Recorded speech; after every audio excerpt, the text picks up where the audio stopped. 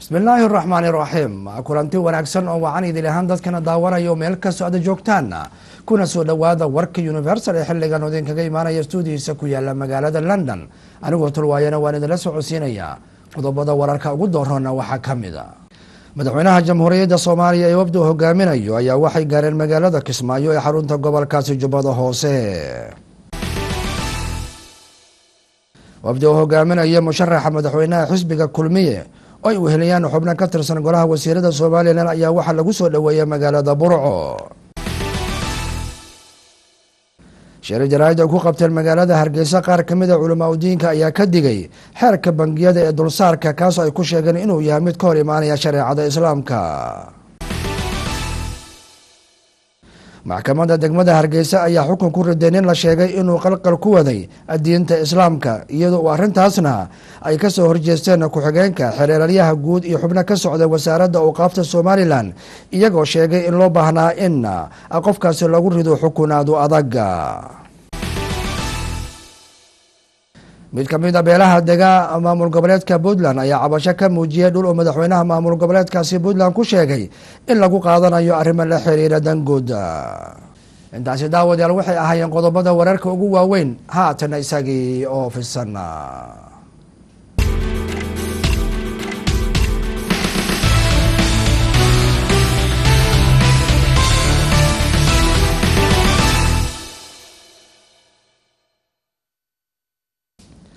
madaxweynaha jamhuuriyadda federaalk soomaaliya xasan sheekh maxamuud iyo wafda hogaaminaya ayaa waxay gaareen magaalada kismaayo ee xarunta gobolkaasi jubbada hoose. Sharmaarka deeq cabdi ayaa warkaasi ka soo diray kismaayo. Iyadoo in muddo loo hanqaltaagaya furitaanka shirka madasha wadatashiga qaran ee aayaha iyo mustaqbalka ummadda soomaaliyeed islamarkaasina la sugayay madaxweynaha dalka soomaaliya mudane xasan sheekh maxamuud inuu daaha ka rogo shirka ka dhacayo magaalada kismaayo ayaa maanta diyaaradii siday madaxweynaha iyo wafdi uu hogaaminayo waxa ay soo caga dhigatay gegida diyaaradaha ee magaalada kismaayo. Iyadoona halkaasi si diiran ay ugu soo dhoweeyeen madaxweynaha dalka mas'uuliyiinta ugu sarsare ee dowlad goboleedka jubbaland ururada bulshada qeybahooda kala duwan. Soo dhoweyntaasi kadib ayaa waxaa warbaahinta si wadajir ah kula hadlay madaarka magaalada kismaayo. Madaxweynaha dowlad goboleedka jubbaland mudane axmed maxamed islaam axmed madoobe iyo madaxweynaha dalka soomaaliya mudane xasan sheekh maxamuud. Waxaa sharaf weyn noo ah inuu maanta noogu yimaado booqasho shaqo. Madaxweynaha jamhuuriyadda federaalk soomaaliya mudane xasan sheekh maxamuud iyo wafdi balaaranoo la socday oo maalmahan baan sugeyn iyadoo safarkan macnihiisu ahaa arrintii wadatashiga bal sanadkan aan ku jirno markii hore taarikh baa lagu sii sheegi jiray. Iyo soomaaliya bal inay wejigeeda siyaasadeed iyo qaab u yeelato mas'uuliyiintuna ay ku wada shirayeen haddii ilaaha yidhaahdo waxaan leenahay mudane madaxweyne soo dhowow aad baan kaaga bogaadinayaa tii jawhar oo ilaahayda ku soo guuleeyey in shirkii shabeelle state aduu magaca loo bixin doono iyagaa la bixi doona aad soo furteen. Aad soo badaahdeen haddaad timaadeen waxaan is leeyahay waa khayr badan. Aad iyo aad ayuu u mahadsan yahay madaxweyne axmed. Waxaan ka nimiday magaalada jowhar oo aan shalay ku soo furnay shirkii maamul samaynta labada gobol ee hiiraan iyo shabeellada dhexe oo ilaahay idinkiis noqon doono maamul samaynta dowlad goboleedyada cusub ee dalka kahana qaadayo kii ugu dambeeyey inuu noqdo aan rajaynayno laguna guulaysan doono. Muddo hore ayay ahayday inaan nimaado. Halkan waxaasena loogu cudur daaray shaqadaas kaleoo ayadana muxuu ahay muhiimka ahayd oo dalka soomaaliya muhiimka u ahayday magaalada kismaayo waxaa ka socda kulan ballaaran oo maxaanku idhahdaa looga tashanaayo haddii aan la yidhaahdo qaabka siyaasadda loo wajahayo ama looga gudbaayo waxaa halkan isugu yimid hogaamiyaasha dowlad goboleedyadoo dhan iyo hogaamiyaasha dowladda dhexe ee federaalka ah. Marka wadatashigaas iyo go'aan gaaristaas ayaan u nimiday. Shirka muhiimaddiis waa kii hore loogu ballamay bisha janawari tobankeeda horey waa tii loogu ballamay shirkii wadatashiga qaran ee lagu soo gebagabeeyey magaalada muqdisho. Maantana kii ugu dambeeyey inuu noqdaan rajaynaynaa oo talo rasmi ah oo ummadda soomaaliyeed mustaqbalkeeda wax ka tartan ay ka soo baxdo waana muxuu ahay dee wax raalli la isaga yahay oo soomaaliyao dhan ay raalli ka wada tahay oo lagu wada qanacsan yahay waaye dhinaca kale waxaa isna guriga martida jubbaland kula hadlay warbaahinta wasiirka warfaafinta ee maamulka jubbaland isagoona sheegay in maalinta beritaa oo ay taariikhdu tahay afariyo tobanka bisha koowaad labada kun lix iyo tobanka uu si rasmi ah u furmi doono shirka madasha wadatashiga qaran ee aayaha iyo mustaqbalka ummadda soomaaliyeed.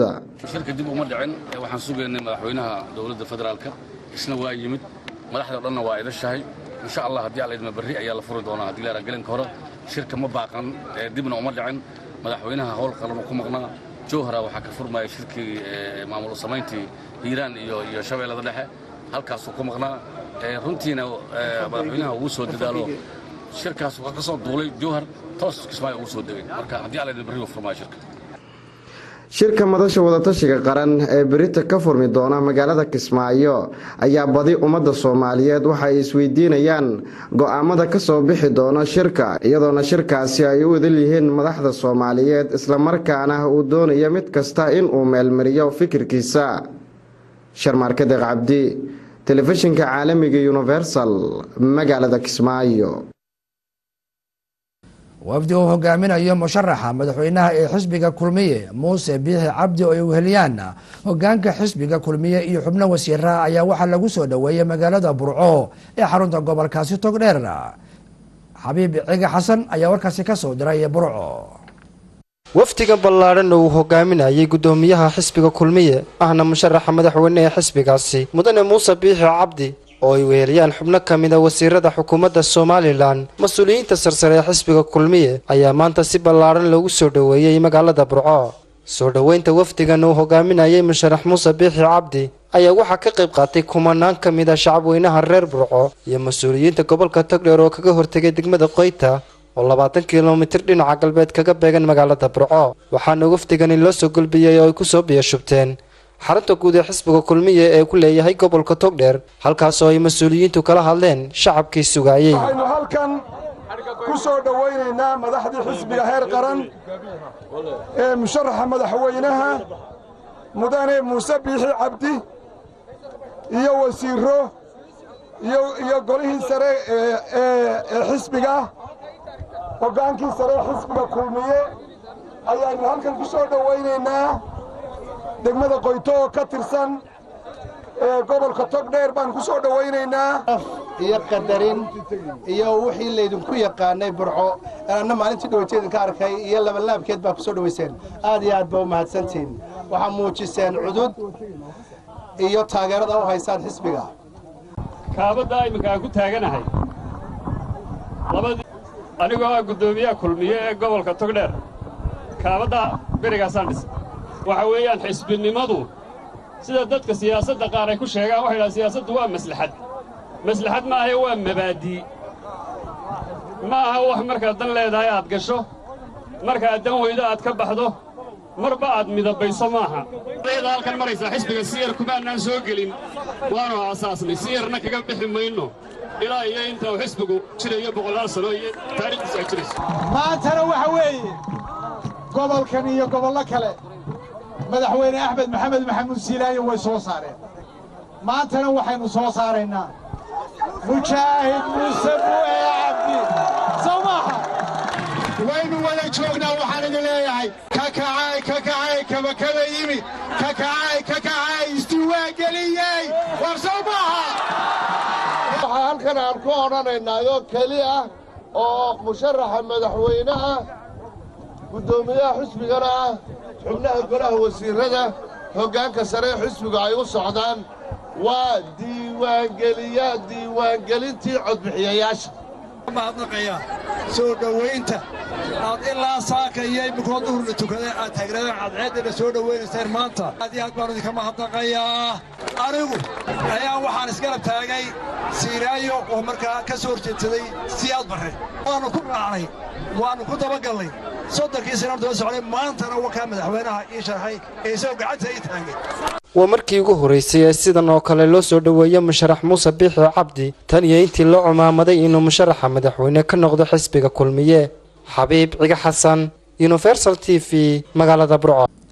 Shir jaraa-id oo ay ku qabteen magaalada hargeysa qaar ka mid a culamaa udiinka ayaa ka degay xeerka bangiyada ee dulsaarka kaasoo ay ku sheegeen inuu yahay mid ka hor imaanaya shareecada islaamka xamdi xaji oktoobar ayaa warkaasi ka soo dirtay hargeysa kadib markii ay dhowaan qaar ka mida xildhibaanada golaha wakiilada ee somalilan ay golaha u soo gudbiyeen xeerka ganacsiga bangiyada. Xeerkaasi oo ah mid ku shaqaynaya habka dulsaarka ayaa waxaa maanta shir jaraa'id ku qabtay magaalada hargeysa. Qaar ka mida culimada waaweyn ee magaalada hargeysa waxayna culimadani ay golaha wakiilada ugu baaqeen in aanay ansixin xeerkaasi horyaala waxaana ka mid ahaa culimada maanta arrintani ka hadashay.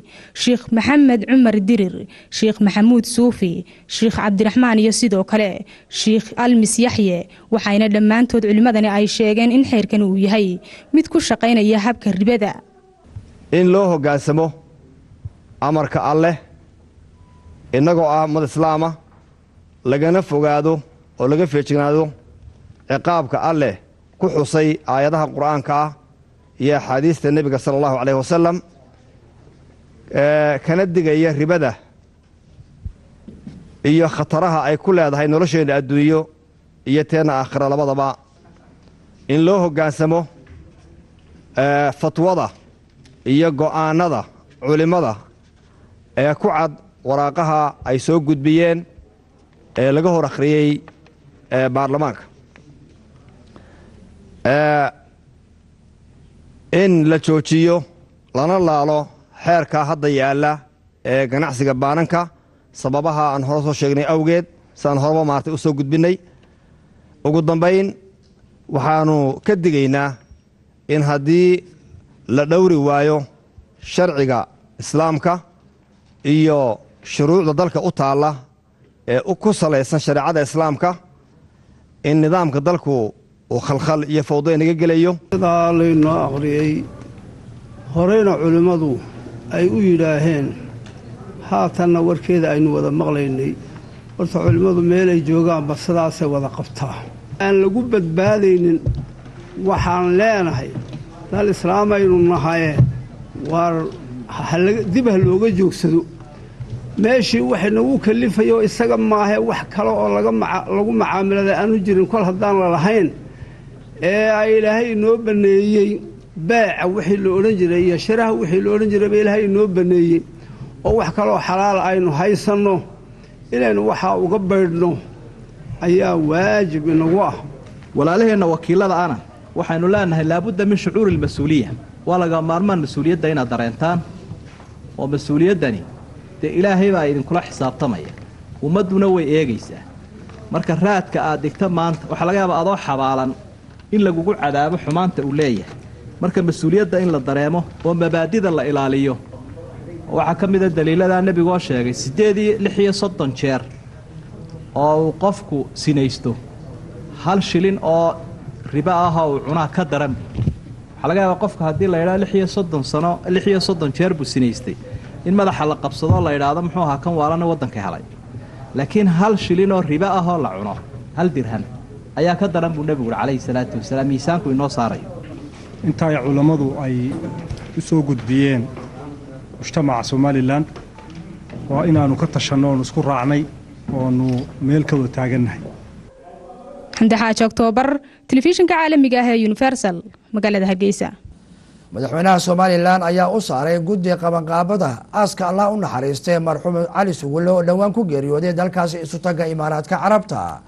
Warbixintaasna waxaa magaalada hargeysa inooga soo diray cabdirashiid cabdiwahaab xuseen gobannimood waxaad gudiyo waxaad ka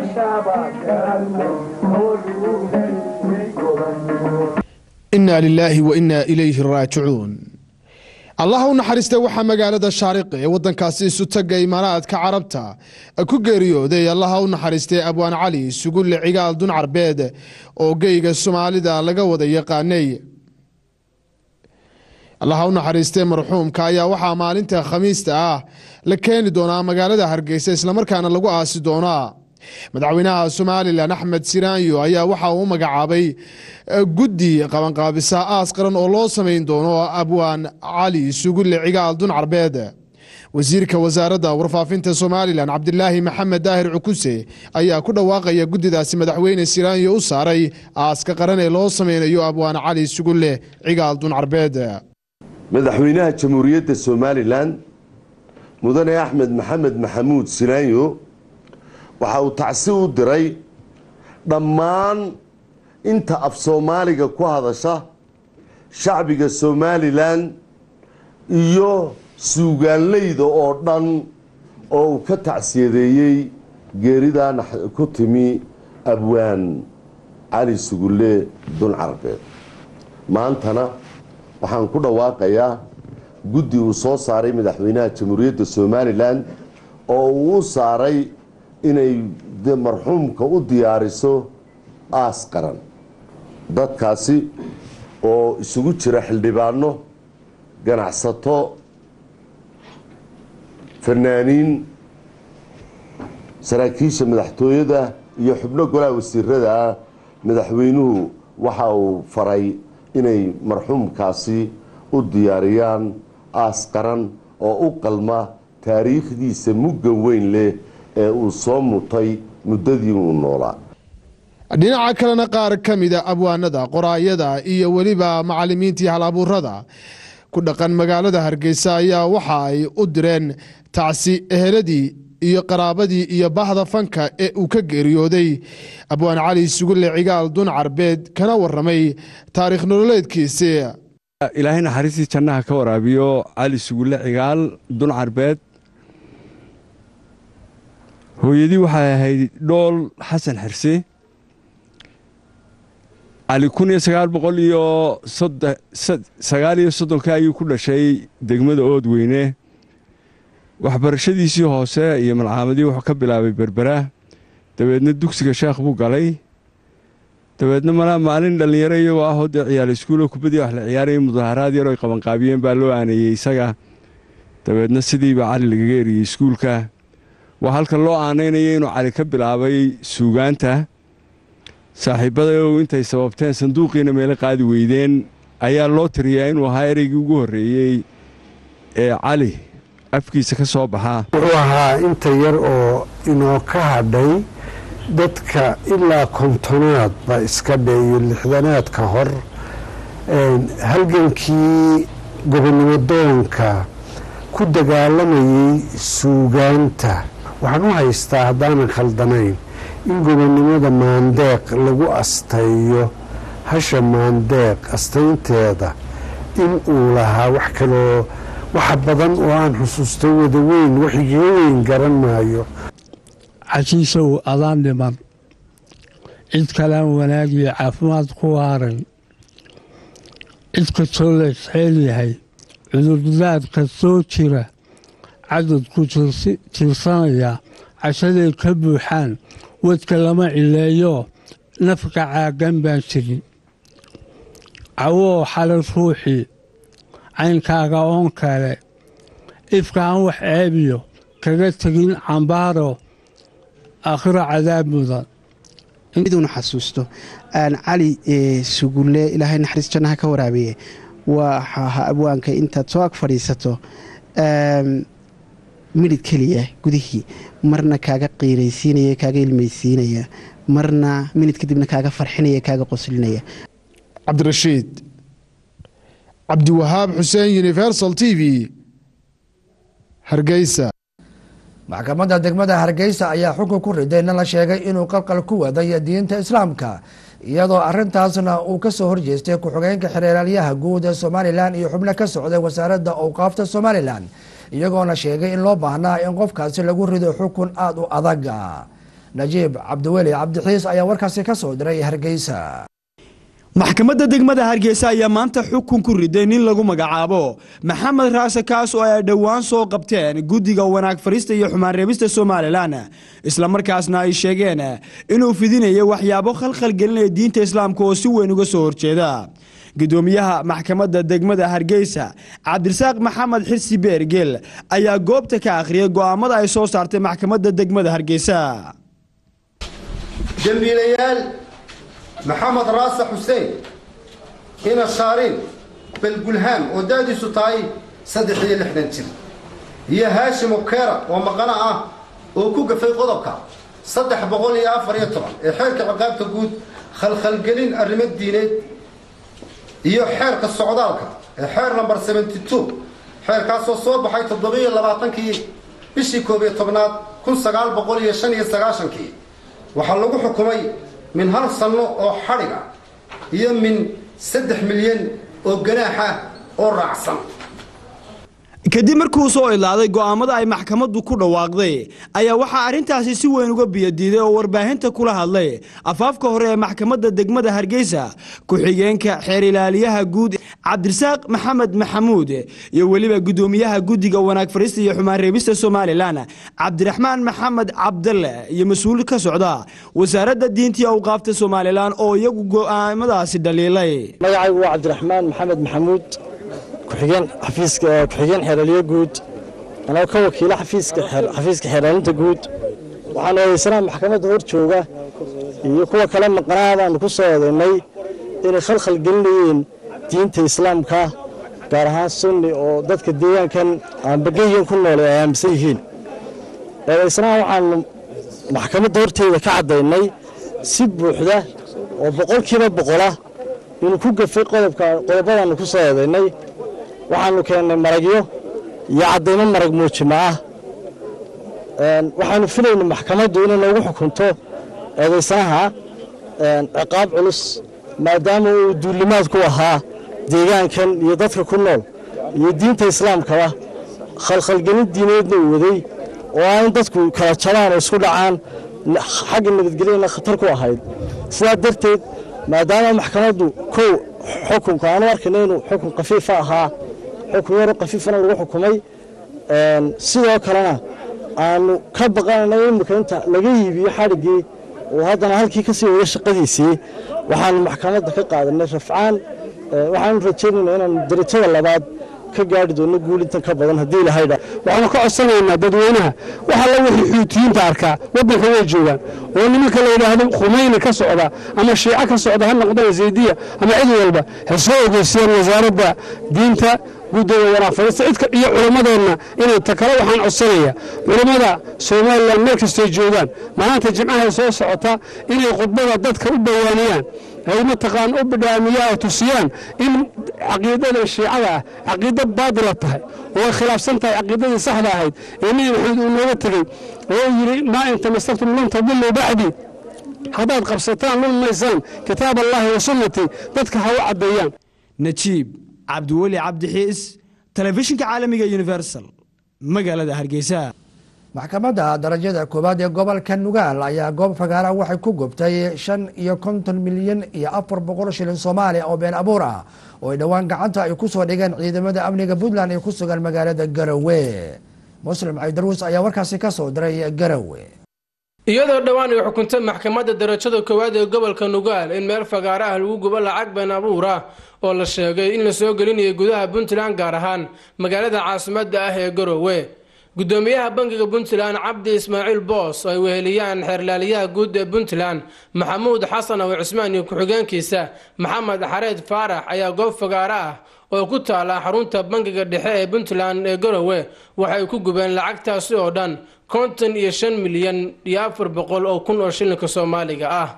Gudoomiyaha bangiga puntland cabdi ismaaciil boos ayaa shacabka puntland uga digay in lacagtaasi ay isticmaalaan isagoona tilmaamay calaamadaha lagu garanayo lacagtan la sheegay in ay been abuurka tahay. Lacagtan oo ah been abuur oo la qabtay laba wiil ka hor laguna qabtay kantaroolkan garoowe oo ka timi xaggan koonfurta maxkamadna la saaray. Maantana aanu goobjoog ka nahay dhammaan annagoo hareeraha ka taagan in la gubo oo halkan lagu gubo goobtan aad arkaysaan iyo dabka kan lacagtana waxay dhan tahay shan iyo konton milyan iyo afar boqol. Marka waxaan maanta fursaddan uga faa'iidaysanayaa dadka reer puntland inay mataqaanaa hawshaas ay dee ogaadaan kana qayb qaataan hawlahaas been abuurka ah ee lagu khalkhalinayo dhaqaalahooda iyo iyo maamulkooda lacagta soomaaliyeed iyo lacagta tani waa wax dhifran oo kala duwan waxay ku kala duwan tahay lacagtan waxa waa lacag aad u cara oo bray aad bay u caddahay markaad aragtana waa garanaysaa. Isku qualityna maaha. Warqadda eefoortka laga sameeyey isquality ma waa ka khafiifsan tahay waa ka quality fuudahay markaad saa u taamatana dareenkaaga iyo common sense-kuba waa garanaya. Markaad aragtana waad garanaysa xeerlaaliyaha guud ee puntland maxamuud xasan ow cismaan oo uu garab taagnaa ku-xigeenkiisa maxamed xareed faarax ayaa shacabka puntland uga degay in hantidooda lagu dhaco. Lacagtan la sheegay inay ban abuurka tahay. Lacagtan sida ay inoo sheegay agaasimu waa lacag faalsa annagu ka garsoor ahaan markii kiiskaa naloo keenay. Go'aankii maxkamaddu wuxuu noqday in lacagtan la gubo maadaama ay la soo caddeeyay inay tahay lacagtaanu lacag faalsa oo shaqi darra waxaa kaloo maxkamadda xukmigeeda ka soo baxay ninkii waday ciddii lagu qabtay lix bilood baa lagu xukumay. Waxaa kaloo lagu xukumay ganax u dhigma lacagtuu siday oo hadda la gubayo. Marka oo doolar ahaana shacabkana waxaan ku dhiirigelinayaa oo ugu baaqayaa inay iska ilaalinayaan lacaga noocaas oo kale ah si aan si sahla xoolahooda iyo hantidooda loogu dhicin muslin cayduruus xaaji xirsi tv-ga caalamiga universal garowe. Mid ka mid a beelaha dega puntland ayaa cabasho waxay ka muujiyeen dhul uu madaxweynaha maamul goboleedka puntland ku sheegay in lagu qaadanayo arrimo la xiriira danguud mawlid warsame kulan ayaa warkaasi ka soo diray nairobi qaar ka mid a waxgaradka iyo aqoonyaano ka mid a beelaha soomaalida dega deegaanada puntland ayaa ka soo horjeestay hadal ka soo yeeray madaxweynaha puntland cabdiweli maxamed cali gaas oo ku aadanaa dhul uu sheegay in lagu qaadanayo arrimo la xiriira danguud haddaba waa kuwaana qaar ka mid a odayaashii waxgaradka beelahaasi oo tv-ga universal u waramay waxayna ugu digeen madaxweynaha puntland inuu arrintaasi ku fududaan. Anigoo ah samadoon cabdinuur maxamed kaarshe kuna hadlaaya magaca jaaliyadda waxaannu ogsoonnahay in uu yidhi madaxweynaha dowladda puntland doctor cabdiweli maxamed cali gaas deegaan ka mida deegaanka qow ee puntland waxaannu u qaadannay danguud sidaa daraaddeed annagu arrintaa uma aragna in danguud loo qaatay deegaankaas. Waxaannu aragnaa in loo qaatay dan gaar ah oo maamulku uu dan ka leeyahay waxaan kaloo ogsoonnahay in ciidamada puntland ay tageen deegaanka qow dad u dhashay deegaanka qowna ay u geysteen jirdil iyo xarig iyo cagajuglaynba waxaan kaloo ogsoonnahay in lagu sameeyey dadka deegaanka qow kala qaybin. Lagalana tashanahayo arrimaha deegaanka. Dad aan u qalmin in lagala tashado oo aan taladooda aysan ka goyn.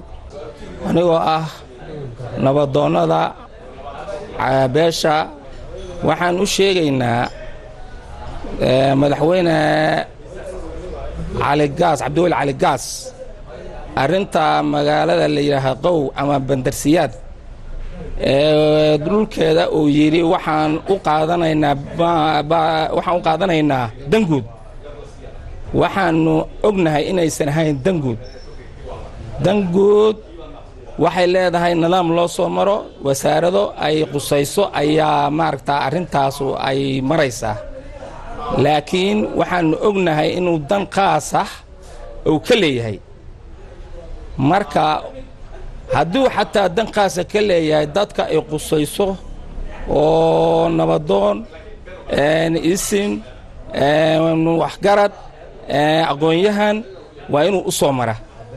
Ma aha inaysan meelaan munaasibkeeda ahayn arrinta laga raadiyo. Hadda ka horna waxaannu la kula dhowr jeer aannu codsannay afar jeer inaan aan la kulannay wuuna nagu gacan sayray. Hadda waxaannu baaq u jeedinaynaa. Cabdiweli inuu ka baxo danaha reerka danahooda ayagaa u madax bannaan ayagaana maaragtaa ka tashanaya mawliid warsame kulane universal t v magaalada nairobi. Agaasimaha guud ee wasaaradda arrimaha gudaha iyo federaalka soomaaliya cabdulaahi maxamuud ayaa sheegay inay been tahay. Wararka leesla dhex maraya oo ahaa in shirkii maamul samaynta gobollada hiiraan iyo shabeellada dhexe uu hakad galay. Ismaaciil cabdulle sabri ayaa warkaasi ka soo diray jowhar agaasimaha guud ee wasaaradda arrimaha gudaha iyo federaalka xukuumadda soomaaliya cabdulaahi maxamuud xasan ayaa maanta beeniyey warar hoose oo sheegaya in uu hakad ku yimid muddo maalmo ah shirka maamul sameynta gobollada hiiraan iyo shabeellaha dhexe oo shalay ka furmay magaalada jowhar ee xarunta gobolka shabeellaha dhexe. Waxa uuna agaasimuhu sheegay in shirku si habsami leh uu u socdo. Wararka sheegayo in shirkii maaragta uu gaab galay waxba kama jiraan anigoo ah wasaaradda cabdulaahi maxamuud xasan ahne agaasimaha guud ee wasaaradda arrimaha gudaha. Waxaan idiin caddaynayaa in shirkaasi wax hakad ah uu galay uusan jirin. Oon joogno shirkaasina sidii uu furmo u socdo. Joogina doonno intii maamul madaxweyne leh baarlamaan leh maaragta maxaan ku idhahdaa baarlamaan iyo madaxweyne leh intii uu ka soo baxo waa joogi doonaa wax hakad geli doonana ma jiraan wasaaradda arrimaha gudaha mar walba waxay u taagan tahay federaalka inay u fududayso dadka degan labadan gobol taladooda isku keento wada hadashiiso si ay u gaaraan wax ay u midaysan yihiin. Wasaaradda arrimaha gudaha federaalka soomaaliya waxay mas'uul ka tahay dhammaan dalka oo dhan. Mar walbana waxay u taagan tahay in ay kala shaqayso ummadda soomaaliyeed waxa iyadu ay ku heshiiso fududaysan marka waa mahadsantihiin marka waxba kama jiraan in shirkii uu gaab galay wuu soconayaa shirkaasi. Wasaaraddu way joogtaa. Wasiirka arrimaha gudaha federaalk ee soomaaliya wuxuu wasaaradda caafimaadka ee ismaamulka gaarisa ayaa waxa uu xariga ka jaray ololo loogu magacdaray ka hortaga nafaqadarrada hooyada iyo dhallaanka. Gaarisa warkaasi waxay inooga soo dirtay zamzam cabdikariin wasaaradda caafimaadka ee countigani gaarisa ayaa xariga ka jarta olola ay ugu magacdartay ka hortaga nafaqadarrada hooyada iyo dhallaanka. Wasaaradda caafimaadka ayaa isugu yeertay gebi ahaan horjoogayaasha caafimaadka countigani gaarisa iyadoo markaasi loo sheegay in la wacyigeliyo dadka deegaanka ay ka howlgalaan. Waatan wasiiradda caafimaadka xubi xuseen iyo dhibid governor oo arrintani ka hadlay. Waxaan ahay wasiiradda caafimaadka maanta waxaan isugu imaanay hoteelka london waxaan launjgareyneyne plan aan sameyno oo ku saabsan nutritionkii countiga sidii kor loogu soo qaadi lahaa xanaanada iyo nafaqadii carruurta iyo hooyooyinka maaragtaye weli dhalaayo carruurta ayaan ku talagalnay plankaas inuu kor u soo qaado xanaanadooda iyo nafaqadooda. Nafaqadii garissa county hooyooyinka carruurta waxay joogtay labaatan iyo shan percent two o eight markay ahayd. Hadda twenty fourteen waxay imaatay eleven point six nine point four baan reduce garayna dhibkii na haystay. Laakiin weli eleven point fourgaas aad bay u badan tahay waayo national kenya oo dhan waa four percent dad baa mataqaanaa oo ilaahay ku siiyey cilmigaas soo soo bartay. Waxay sheegeen dadka waxaa la rabaa inay qaataan. Tan kale waxaan leeyahay hooyooyinka xamliga ureyda ah oo isbitaalada tagaan in waxa dhakhaatiirta ay dhahaan sameeya inay sameeyaan ayaa la rabaa. Cunuga nafaqadiisa waxay ka bilaabanaysaa markuu caloosha galo oo hooyada la rabo inay xanaanadeeda la ilaaliyo dhiiggeeda in la fiiriyo mataqaanaa isbitaalka inay la xiriirto oo la xiriirto qaybta m c h ka oo loogu talagalay haweenka ureyda iyo carruurta khaasatan waxyaalo badan ayaa ka jiraan countiga annaga iyo north eastern iyo waddamada mataqaanaa ee dhanka xoola dhaqatada u badan. Waxaana jira inay mataqaanaa carruurta nafaqa fiican aan helaynin oo abaara ah jiraan oo dadkana miyi ay u badan yihiin. Saa awgeed caruurtii koritaankoodii ayaa wax aad iskaga bedela taasna waxay madaxweynaha ayaa markii uu soo galay doorashada dalka uu ku guulaystay waxa uu bal oofiyey ballantiisii ahayd in laga dhigo goobaha caafimaadka mid hooyada laga qaadin lacag xilliga ay umulayso. Haweenka gobolka waqooyi bari ayaa inta badan la sheegaa in aysan ka faa'iidaysan fursadaas iyagoo ah kuwo ku dhala guryaha. Xilliga ay imaado foosha iyagoo ku andacoonaya in isbitaalada ay ka howlgalaan ragga janabi ka ah. Taasi oo keeni karto hooyada oo ku dhasha guriga sacnaca soomaali in markaasi ay soo wajahdo khatar iyadiyo cunugeeda. Ololahani ayaa haddii wasaaradda caafimaadka ay hirgeliso waxaa ka faa'iidaysan kara dumar badan oo haatan ku dhala guryaha. Samsam cabdikariin universal t v garissa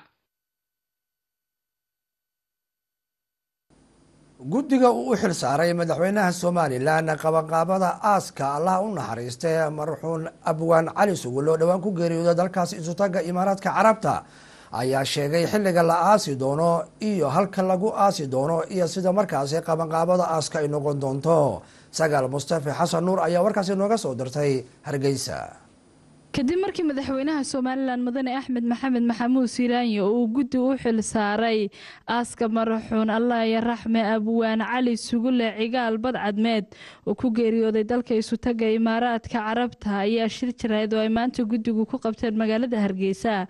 Waxay ku dhawaaqeen in marxuunka abwaan cali sugule beri lagu aasi doono haddii allaha awoodali ogolaado xabaalaha naasa hablood ee magaalada hargeysa waa kuwan wasiirka wasaaradda warfaafinta cabdilaahi cukuse wasiirka xanaanada xoolaha cumar yare iyo sidoo kale wasiirka wasaaradda gaashaandhigga axmed xaaji cali cadami oo iyagu ka mida guddida islamarkaasina ku dhawaaqaya xilliga uu aasku dhici doono. Innaa lilaahi wa innaa ilayhi raajicuun. Mar kale maanta waxaa halkan taagan xubno ka mid ah guddidii qabanqaabada iyo raggii maskax iyo muruqba ku kordhinayey oo madax iyo mas'uuliyiin kaleba waxa ay u taagan yihiin inaannu idinkala hadalno aaska aynu filayno inuu maalinta berri ah haddii ilaahay idmo ka dhaco magaalada hargeysa ee marxuum abwaan cali sugulle cigaal dun carbeed. Waxaannu doonaynaa inaannu bulshada la socodsiinno in hawlihii qabanqaabo ee aaska marxuumkaas oo inagu weyni ay diyaar yihiin shacbiguna ay diyaar u noqdaan inta ka soo qayb geli kartaa inay ka soo qayb galaan. Waxaannu doonaynaa inaannu idinla socodsiinno sida ay u dhacayso munaasibadda aynu ku sagootiyeyno abwaankeenna innagoo nidaamka aynu u sagootiyeyna ee aynu u aasaynaa uu yahay nidaam islaam oo aynu nahay ummad islaama nidaam dhaqankeenna ogol yahay nidaam dhaqanka duwaliga ah ee dowladuhuna uu ogol yihiin oo aaska aynu u samaynaynaa uu aas qaran yahay. Caa'iladii iyo qoyskii iyo qaraabihii uu ka dhintayna sidaas si leeg in ilaahay samir iyo iimaan ka siiyo baynu rajaynaynaa. Waxa ballanteennu dadweynew tahay berrito aaskaa qaran inaan loo kala maqnaan. Inta badan ummaddu waxay isku waantuuraa taariikhda. Qofka markuu dhinto ayuu raacaa innaka soomaali ahaan. Taa qofka marka uu dhinto ayaa taariikhdiisa aynu ilinaa tirtiraa laakiin qof waliba taariikhdiisa waxa adduunyadu ay ku socotaana waa intaa maalin walba nin inooga tegi doona. In taariikhdii ay ka tegeen inkastoo maanta dad badan oo dhallinyar ah ama daayartu aanay garanayn araggiisa haddana waa hayaan suugaantiisii iyo taariikhdiisa waa hayaan tii xorriyaddii jabuuti tii n f d tii intaba wuu ka qayb galay. Inaa lilaahi wa inaa ilaahi raajicuun. Sagal mustafa xasan nuur telefishinka caalamiga universal. Hargeysa guddiga qaaraan ururinta dhismaha waddada ceerigaabo ayaa lagu wareejiyay deeq lacageed oo ay soo direen. Jaaliyadda imaaraadka carabta looguna talagalay dhismaha waddada isku xirta ceerigaabo iyo burco. Warbixintaasna waxaa ceerigaabo nooga soo diray yuusuf cabdi xasan guddida waddada ceerigabe ee gobolka sanag ayaa maanta lagu wareejiyey deeq lacageed oo loogu talagalay dhismaha waddada isku xidhaysa ceerigaabo iyo burco ayna soo direen ururka cawo iyo ayaan oo fadhigiisu yahay imaaraadka carabta gaar ahaan cusmaan iyo shaariqa munaasibadan lacagta lagu guddoonsiinayay guddida qaadhan ururinta waddada ceerigaabo oo lagu qabtay hoolka shirarka xarunta gobolka ee magaalada ceerigaabo kana soo qayb galeen barasaabka gobolka sanaag guddida waddada ceerigaabo haween. Iyo marti sharaf kaleba ayaa waxaa ugu horeyn halkaasi ka hadlay caasho saalax iyo magool saalax aaji xasan oo hablaha ururka cawo iyo ayaan u soo wakiishay lacagtaasi. Halkan maanta waxaanu ku gudbinaynaa lacag ay soo direen urur la yidhaahdo cawiya ayaan oo fadhigiisu yahay cujmaan iyo shaariqa. Hablahaas waxaa ka mid a noo soo dhiibay lacagta foosiye siciid cali qorshe maxamuud maxamed iyo foosiye ducaale lacagtaas oo dhan kun iyo toddoba boqol siddeetan iyo sagaal. Oo ay ugu talagaleen waddada ceerigaabo iyo burco isku xidha. Waxaan leenahay jasaaka khayr. Ilaahay halkay ay ka soo saareen ilaahay wax khayr qaba ha ugu bedelo waxaan halka kan ku wareejinaynaa lacag ay noo soo direen hablo ururka cawiya ayaana. Waxay ugu talagaleen lacagta waddada taasay noo soo dhex raaciyeen inaanu u gudbinno ama aanu gaadhsiino halkii loogu talagalay.